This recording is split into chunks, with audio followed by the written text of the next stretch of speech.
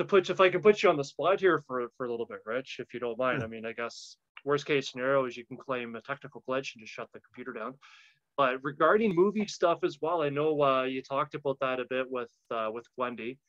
Um, that there's a uh, I guess a, a, production company that's in the works. They're they're putting um, uh, some crew together, and I know there's there's a star to play Gwendy who's been selected. Um, and, uh, and understandably, you couldn't really say much more than that. Has anything else developed in regards to that that you you can? Yeah, no, I can't or? really say anything other than just. And, there's there's actually not a star in place. Um, oh, my mistake. Okay. Yeah, no, Thanks no, that's fine. Me. Okay. Um, but uh, there's definitely a good production crew as far as you know producers and and we've you know I should have news soon. I mean, I got an email from from Steve's film agent just last week with an update about that, and and yeah, I mean, it's uh, you know, it'll happen. It'll you know, that's yeah. kind of how I look at it. Is is you know, people are like, my God, every you know, the Boogeyman from Steve is in production right now, an old short story, and, and so many yeah. other things, and they're like, Gwendy seems perfect, and I'm like, I think Gwendy is perfect, especially for this time in the world and and 100%. these times here in this country. Um, and, and it's such a female centric story that I, again, I think it could be very powerful, but um, I've always just looked at it and I'm like, you know what, when its time is right, it'll, it'll explode out there. And, and hopefully that's soon. I mean, it was a really positive update that we got last week.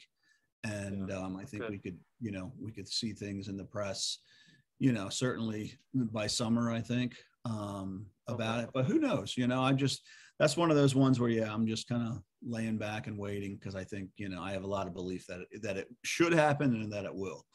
Uh, another guy out there who's making the waves in the Gwendy verse is uh, you know Brian Keene. Um, right. You know I understand that he's working on some stuff as well.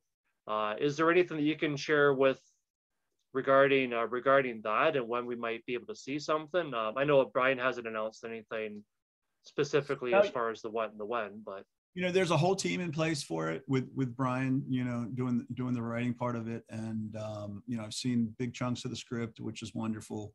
Um, yeah. we have an artist a main artist who, who is wonderful. And again she sent she sent an update probably as recently as two weeks ago. So again i think that's something that's going to gain momentum in the next few months and, and hopefully again by summer. I, I think it could be an interesting summer for Gwendy. You know, a lot of stuff out there, but uh, yeah, yeah. I mean, uh, you know, I'll let Brian, you know, say more about it when, sure. when we're all ready. But we've got a whole team in place, and uh, I, I, think it's a natural for you know that kind of a graphic adaptation. And yeah. um, and the neat thing is, is now there's three books. You know, now there's a complete arc, but with plenty of holes to fill in.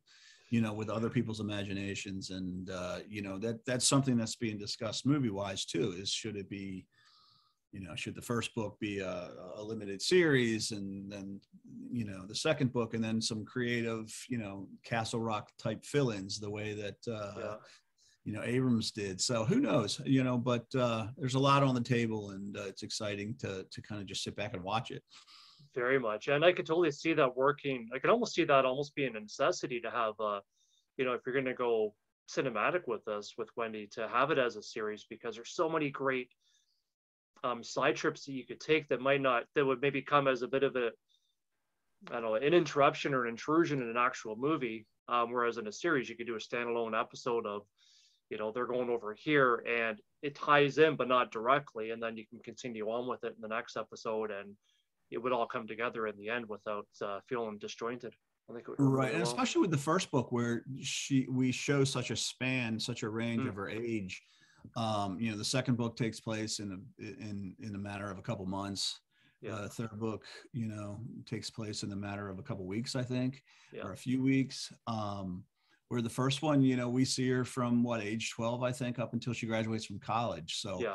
It, it, to me, that would be, you know, present some challenges as far as a, a single feature. But, you know, that we're we have good people attached, so it's kind of like I have faith in whatever they do. But yeah, ideally, I would love to see you know a limited series with future seasons um, until we get to you know the end of of Gwendy's final task and uh, I think with with such a good team there in place they could really fill in those gaps between book two and three and and that kind of thing.